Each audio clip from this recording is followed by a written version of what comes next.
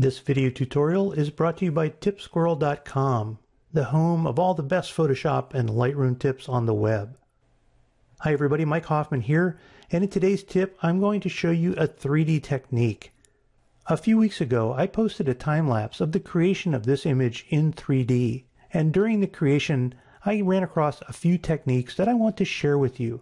And the first one that we're going to start with today is the creation of this field of spheres or particle field in space. If we go to the 3D layer and we activate the move tool, I can move this scene around and you can see that all these globes are floating in 3D space. Now I didn't have to create these individual globes one at a time. I was able to create them with a technique that I'm going to show you today. What we're going to do is start with a new document. So I'm going to choose File New and we'll start a new document 1280 by 720 and click OK. I'm going to set the colors to the default of black and white by pressing the D key and then I'm going to choose the brush tool. With the brush tool selected I'm actually going to open the brushes panel by choosing window brush or pressing F5. And here I'm going to choose a 30 pixel hard round brush. And if we turn off all the effects, we can see this is the default brush shape. But we're going to modify this. We'll start with shape dynamics. And in the shape dynamics section, we're going to increase the size jitter. And this is going to vary the size as we brush. So I'm going to actually crank this all the way up to 100%. And this is going to create some extremely random fluctuations in the size of the brush tip. Then we'll go to scattering, and I'm going to turn scattering up as high as it will go as well, and this will scatter the brush tip shapes around on the canvas as we draw. Now these are still overlapping each other, and I want them to actually be separate. So I'm going to go back to brush tip shape, and I'm going to increase the spacing by quite a bit to separate them from each other. So we'll run this up to about, oh, 300, 320% or so. And that looks pretty good. And maybe we'll increase the size just a little bit. 35, 36, that looks good. Now we'll go ahead and close the brushes panel for now and create a new blank layer on top of the background. On this new blank layer, again drawing with black color, I'm going to simply stroke across and you can see this is what's happening. I'll undo that and I'll make a swirly stroke and create a bunch more round circles. And that's pretty good. What we want is for the circles to be physically separate from each other without overlapping.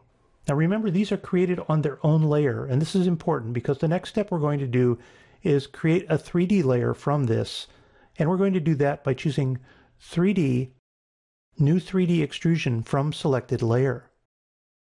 Photoshop will ask us if we want to switch to the 3D workspace, and we'll say yes. And here we are, and here's our extrusion. So we can see the circles have all been extruded out basically into cylinders. So we'll go back to the default view, and this is what we have. Now this doesn't exactly resemble a 3D field of floating globes. So we're going to have to make some changes to this. We'll go ahead and spin it around a little bit so you can see what's happening. And then I'm going to go to the 3D panel. And here in the 3D panel, I'm going to choose layer 1, which is my extrusion. Now I'm going to change the extrusion depth. And you can see as I drag this slider, we make the cylinders longer or shorter. And we actually want to take them down to zero. We want them to be completely flat. So if I click over here, now we can see that we've got a completely flat set of extruded circles. They're not extruded at all. But what we can do now is to once again choose that layer here in the 3D panel and come up to the properties panel and we'll go to the cap controls. We'll make sure that we're set to adjust both front and back. And then we're going to go down to the inflation section. We're going to change the inflation angle from its default of 45 all the way up to 90. Now you can't see anything yet until we start increasing the strength. Once we start increasing the strength, you'll see that the circles are inflating and becoming spheres. Now I've played around with this a little bit and I found that a strength in the low 20s seems to work pretty well to simulate globes. And sure enough, there are our globes floating in 3D space. There are quite a few of them. They're all black, but we need more and we want to give them some color, but not necessarily in that order. Let's go ahead and start with the color. And I'm going to click on the front inflation material. And this is the texture that we inflated when we were adjusting the cap. With the front inflation material selected, I'm going to go up here to the diffuse texture. And I'm going to click this icon and I'm going to choose edit texture. Notice the information here that this layer is included in multiple places. As we're going to see, this also is the back inflation material, and that's going to help us out. We'll click OK, and here is our texture, and it's just the same black circles. What we'll do is we'll go to the Layers panel, and we'll create a new layer. On the new layer, we're going to draw a gradient. So I'm going to choose my gradient tool, and here in the gradient tool dropdown, I'm going to choose this gear icon, and I'm going to load the gradient set called spectrums. I'll click OK and I'll choose the first one here. Now at this point I'm going to simply draw from left to right and create something about like that. That looks pretty good. What I'm going to do is clip this to the circles. I'm going to place my cursor in between the two layers and then I'm going to hold down my Alt or Option key and click.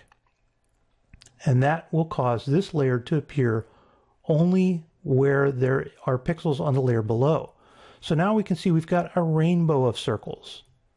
So we'll go ahead and save this and we'll close this and go back to our 3D object and here we are. I'll choose the move tool once again, click out here in the scene and we can drag around and we can see that we've got the same texture on the front and back sides. So that's pretty good. Let's go ahead and go back to the default view for now and then we'll go over to the Layers panel. Here's our 3D layer, and I'm going to duplicate this two times by pressing Ctrl J on Windows or Command J on a Mac. And we can see now that we have a total of three copies, the original plus two copies, and I'm going to highlight all three of these in the Layers panel, and then I'm going to go to the 3D menu and choose Merge 3D Layers. Now we've got them all merged together on one layer and we can go back to the 3D panel and we can see here that the three layers have now become three meshes. We can click on any one of these meshes and we can drag it around and it will separate from the others as you can see here. So that's pretty good. We'll click on the very last one here and we'll drag this one around and we'll flip it the other way.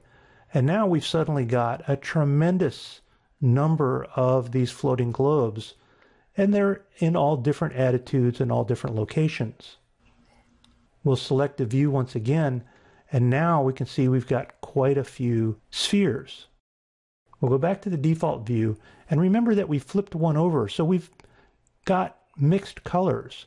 But the one that we flipped over, which is this one, we can change the colors to match the others. This was the third one we created, and the easiest way I found to get to this is to go back to the Layers panel and expand this and look at the textures. Here's the third texture that we created, and we can simply double click this to edit it. We'll click OK, and here is the texture. What we're going to do is flip this gradient around in the other direction. So I'm going to highlight this, and I'm going to choose Edit, Transform, Flip Horizontal. That's it. I'll save this, close it, and we'll go back to the 3D file. And now we've got all the greens on the left, all the blues on the right, and it's a little bit more uniform. We've created our field of floating spheres now in 3D. We can drag this around to whatever position we want. And then it's a simple matter to come in here, grab a background texture, put it in our file, and now we've got a nice creation. There are quite a few possibilities with this, and I hope this opens up some creative doors from you as you're working with 3D in Photoshop. My name is Mike Hoffman. My website is hoffmanartdesign.com. You'll find a variety of Photoshop, Lightroom, and photography tips and tricks there. You can follow me on Twitter at mhoffman2001, and you can find me on Google Plus by simply going to gplusmikehoffman.com. Thanks for watching, and I hope you enjoyed today's tip.